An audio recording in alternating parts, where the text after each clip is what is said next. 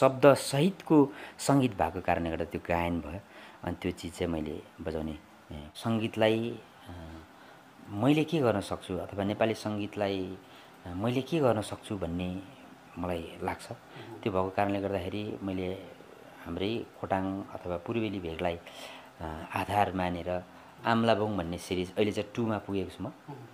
त्यसको काम गर्दैछु। वानमा आम्लाबोङ भन्ने सिडी छ के अरे क्यासेट छ एल्बम छ तपाईँहरूले मेरो युट्युब च्यानलमा हेर्न सक्नुहुन्छ। त्यसमा चाहिँ पूर्व पूर्वेली टिपिकल धुनहरू पनि सुन्न सक्नुहुन्छ जस्तै हियारी सुन्न सक्नुहुन्छ तपाईँको देउसी भैलोमा गाइने गीतको भाका बाँसुरीमा सुन्न सक्नुहुन्छ। अनि यो चाहिँ ट्युन चाहिँ जितेन राईज्यूले बनाउनु भएको कम्पोज गर्नुभएको अनि यो यहाँले युट्युब च्यानलमा पनि हेर्न सक्नुहुन्छ। म यसको छोटो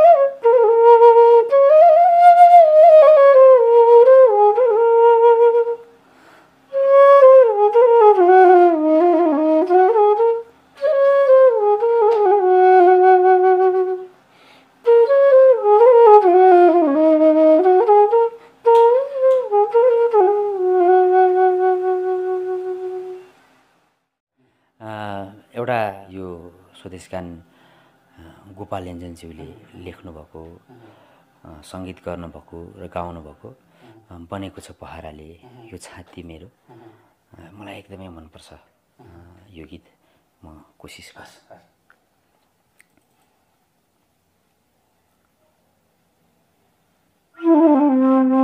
Thank you.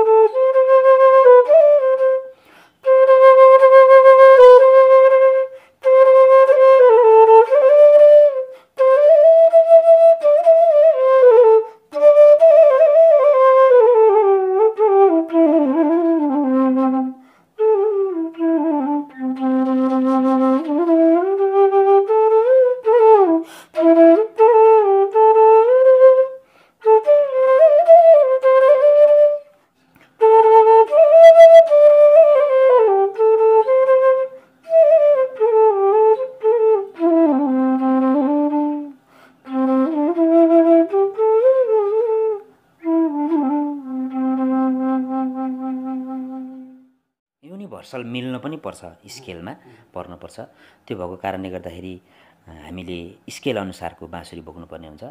सप्तक तिन प्रकारका हुन्छन्। नर सामान्यतया अब सप्तक भनेको चाहिँ स्वरहरूको उतार चढाव हो। आरो अब्र। भन्दा पनि एउटै स्वर त्यही स्केल लो पनि हुन्छ हाई पनि हुन्छ र मिडियम हुन्छ। मिडियम स्वरलाई चाहिँ मध्य सप्तक भनिन्छ भने मोटो स्वरहरूलाई मन्द सप्तक भनिन्छ एकै शब्दमा भन्ने हो भने र तिखो स्वरलाई तार सप्तक भनिन्छ। अनि यो अब सप्तकमा सातवटा स्वरहरू हुन्छन्। अनि सप्तकमा सप्तक तिन प्रकारका हुन्छन्। यो सातवटा सप्तकमा चाहिँ अनुसार चाहिँ सप्तकभित्र विकृत स्वर गरेर बाह्रवटा स्वरहरू हुन्छ अनि यो बाह्रवटा स्वरमा चाहिँ बजाउनको लागि स्केलमा बजाउनलाई चाहिँ बाह्रवटा बाँसुरी चाहिन्छ। अनि त्यसपछि सप्तक अघि पनि भने मैले तिन प्रकारको हुन्छन्। अब सात त्यहाँ एक्काइस। नर्मल नर्मलतया सङ्गीतको एक्काइसवटा मन्द सप्तकमा सातवटा मध्य सप्तकमा सातवटा र तार सप्तकमा सातवटा गरेर सात त्यहाँ एक्काइसवटा शुद्ध स्वरहरू हुन्छन्। विकृत स्वर गरिकन त्यहाँ छत्तिसवटा स्वरहरू हुन्छन्।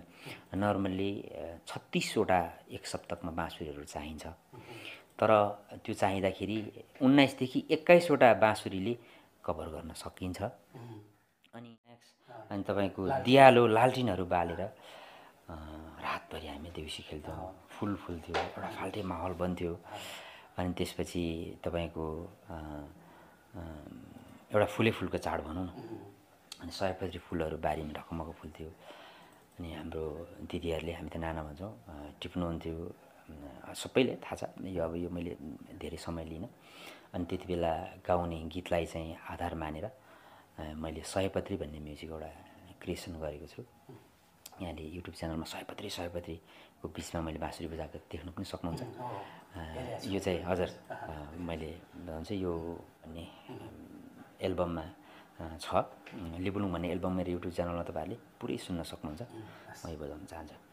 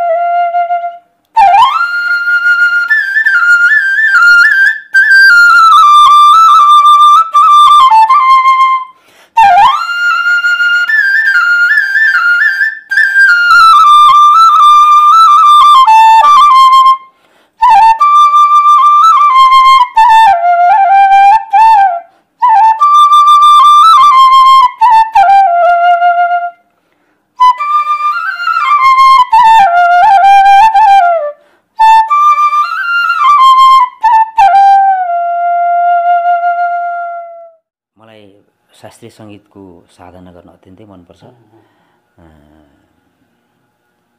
शास्त्रीय सङ्गीत मैले काठमाडौँ आएर सिक्न थालेको हो। यो धेरै गाह्रो छ यो सङ्गीत। म यहाँहरूलाई एउटा वर्षा ऋतुको राग राग मिहा मलार म तपाईँहरू समक्ष छुटो सुनाउन चाहन्छु। अब राग भन्न साथै अलिकता लामो हुन्छ। सङ्गीतमा लाग्ने मान्छेको लागि चाहिँ शास्त्रीय सङ्गीत भनेको चाहिँ एकदमै मुटु नै हो। महत्त्वपूर्ण छ गाह्रो छ। यो एक दुई वर्ष हुनेवाला छैन। के अरे दस पन्ध्र वर्षले एक दुई वर्ष के दस पन्ध्र वर्षले हुनेवाला केही छैन। म यो चाहिँ जिन्दगीभर साधना गरिरहन्छु यो मेरो चोइस पनि हो। हाम्रो लोकसङ्गीत हाम्रो सुगम सङ्गीत त छँदैछ। म यहाँलाई छोटो राग मिया मलाई सुनाउँछु।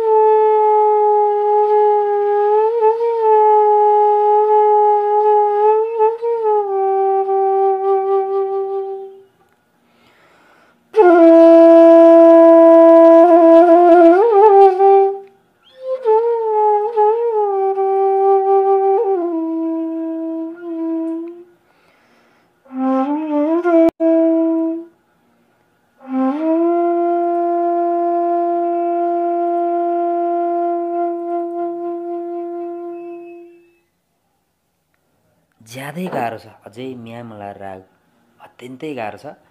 मैले दुई हजार एघारमा इलाहाबाद यो तपाईँको के भन्छ कलानिधि इन्दिरा सङ्गीत महाविद्यालयबाट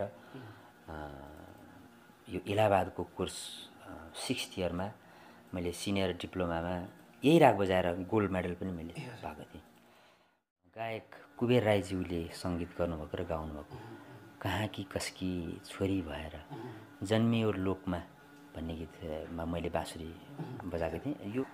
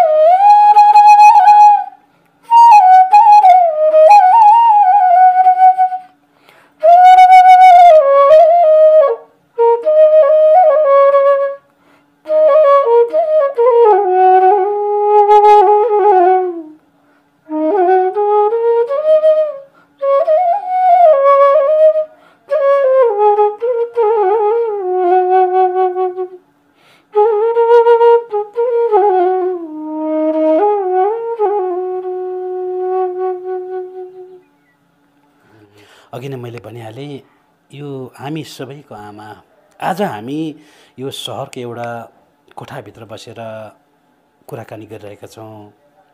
मेरो आमा त हुनुहुन्न स्वर्गवास भइसक्नु भएको छ यद्यपि धेरैको आमा हुनुहुन्छ आमा।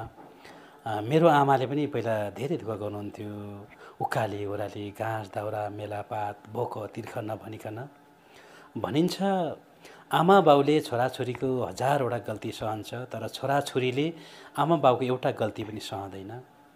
सायद त्यो ज्ञान मलाई पनि त्यति बेला थिएन होला। आज जति बेला मेरो आमा बाउ थियो त्यति बेला मैले उहाँलाई बुझिनँ होला। मेरो आमाबाउ छैन यति बेला मैले बुझेँ होला। समय हुन्छ मन हुँदैन मन हुन्छ समय हुँदैन। समय र मनको तालमेल नमिल्दा केही पनि हुँदैन भने जस्तो यहाँ भइरहेको छ। आज पनि उहाँको आमा अनि तपाईँको आमा हामी सबैको आमा जो जो गाउँबाट सहर बस्नु भएको छ सहरमा बस्नु भएको छ तपाईँ यहाँ मिठो खानुहुन्छ राम्रो लाउनुहुन्छ चिल्लो रोडमा हेर्नुहुन्छ तर आमा गाउँमा ढिँडो सिस्नु खोले। खाँदै उकाली उराली गर्दै हुनुहुन्छ होला। हिलो झरी बादल नबनिकन धान कोदो मकैको रोप्दै हुनुहुन्छ होला होइन?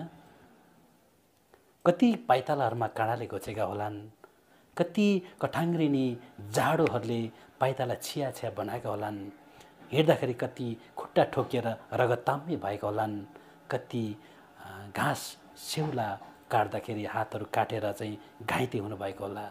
तर पनि दुखाइको महसुस नगरिकन आमा सधैँ पनि छोराछोरीलाई सम्झिरहनुहुन्छ छोराछोरीलाई माया गरिरहनुहुन्छ। यो आमाको सम्मानको लागि उहाँले गीत बजाउनुभयो। यहाँलाई धेरै धेरै धन्यवाद।